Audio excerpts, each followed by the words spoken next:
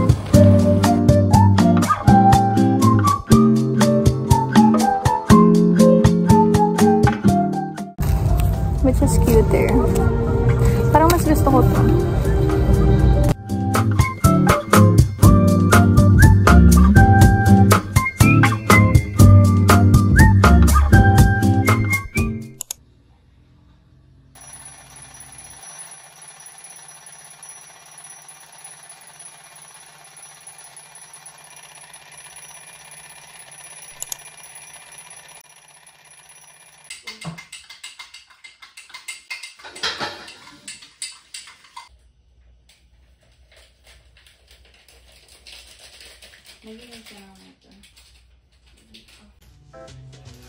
this.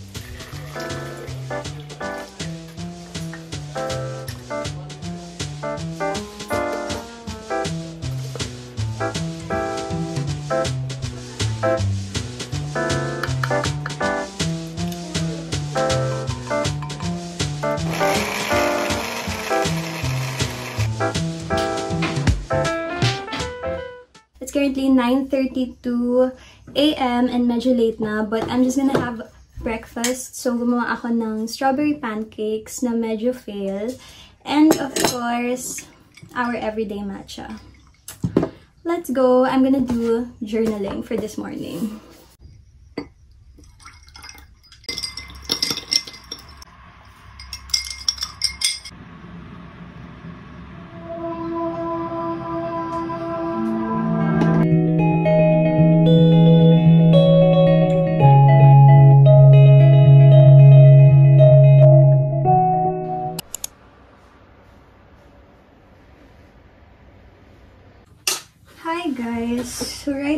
Just doing my makeup because I'll be going out. I have an appointment for my lash extensions kasi ayan o, yung lashes ko. Dalawang piraso na lang siya and kailangan ko siya ipa-ice because tomorrow we have um, a beach trip for my birthday. And then I'm also getting my nails done kasi sobrang pangit ng kuko ko talaga. As in, So yeah, yun lang. Dalawa lang naman yung agenda natin kung ba tayo lalabas. Quick fit check before I go. My unitard is from Stitch by JNC. My bag is from Vouper Official. My shoes, Nike Dunk Low na Panda. And then accessories, Mikana Japan, Mikana. Bye!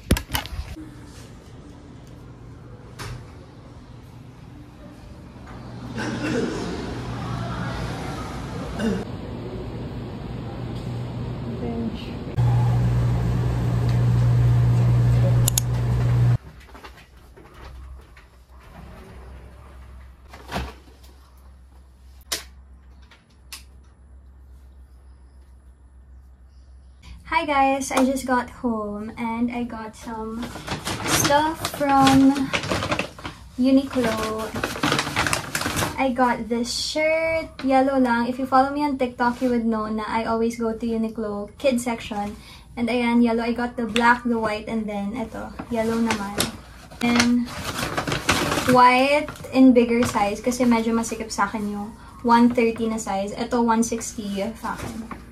And then, ito, sa mom ko, shirt. Yun lang. So, now I'm gonna share kung bakit ganito yung nails ko. Parang medyo pink siya na merong mga mga beads na Tada! Super nice. This one is from Alamore The Label. This is going to be my birthday dress. Ganyan lang siya. Kita nyo? Basta maliit siya, ano siya, parang mini dress siya. And then, off the shoulder siya na ganyan. And it's tweed. And super mini, mini, mini skirt talaga siya. So, ganyan siya sa akin. So freaking nice. I love anything na tweed yung fabric or like yung texture. So, ayan. I love this. Thank you so much. Kakulay niya naman yung dress. And this dress is called the Elodie dress from the Monte Carlo collection. Hi guys! So right now, I'm in the middle of packing and medyo nakaka-stress kasi magte 10 p.m. na and super late na. We are leaving tomorrow ng before 5 a.m. So, ito pa lang yung napapak ko. Bikinis and bags. But what I do to keep this packing organized is I make a checklist of the things that I need. Bale, sinusulat ko sila lahat dito sa notebook ko. And then, ayan. So, para wala akong makakalimutan. So, first bags. And dito lahat ng bags ko. This one is from Victoria's Secret Pink. Ayan lang siya. Medyo malaki to, kaya madami talaga akong malalagay. I'll be bringing medyo malaking tote bag. So, ito. We have so much more. Kita ba? We have so much more to do. Moving on with the outfits that I want to bring. First, ito, dadalhin ko to. Bring this. I'm gonna bring this as well. This. A long dress. What else? I'm gonna bring this. Pink na long dress as well. First, I'm gonna bring this. Hi guys! I'm almost done with packing and ayan, dalawa na lang yung kulang ko, tech stuff and toiletries which I will be packing tomorrow. Pero update, here's the current situation. Ito lang yung bag na pinili ko kasi kakulay niya or like kamatch niya most of my bikinis na puro pastel. So ayan, yellow usually matches naman with anything. So, next, ito, mga accessories. Napack ko na din siya. Ito lahat ng dadalhin ko. And, ito yung mga bikini. Super colorful talaga lahat. Then, next, for my glasses, tatlo lang yung dadalhin ko. Ito. Bagay ito sa mga bikini ko na pastel color. And then, ito. And lastly, ito. Tatlo lang yung dadalhin. For my outfits, ito yung mga dadalhin ko. Parang gusto ko sila i-try on. Let's do a try on haul.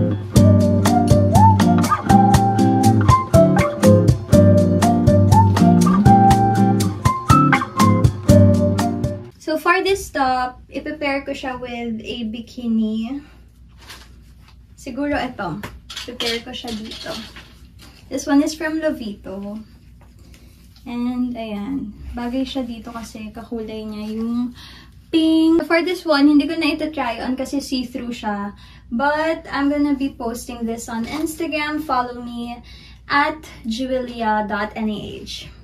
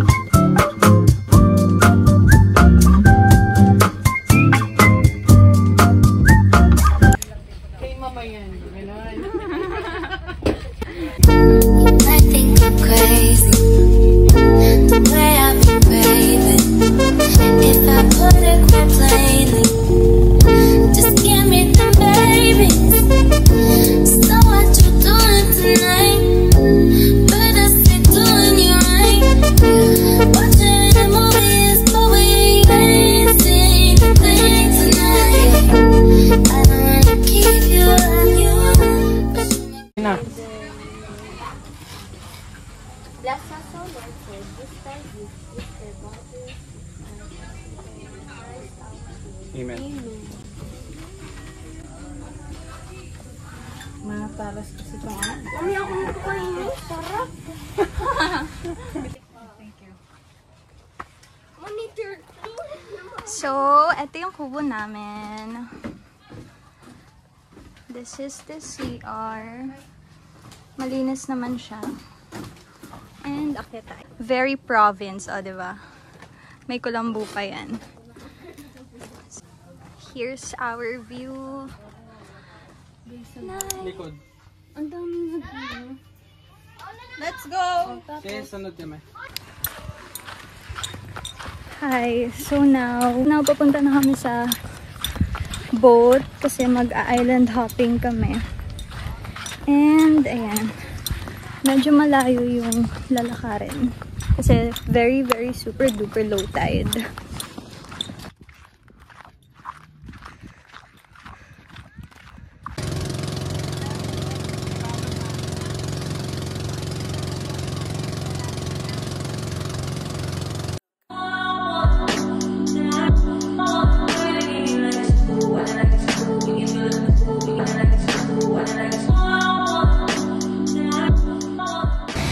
Guys! So ayan, nag-photoshoot lang ako dito for my 20th birthday. This is our setup for tonight. And dadagdagan ko lang ng konting props. Pero ayan siya. So, nice.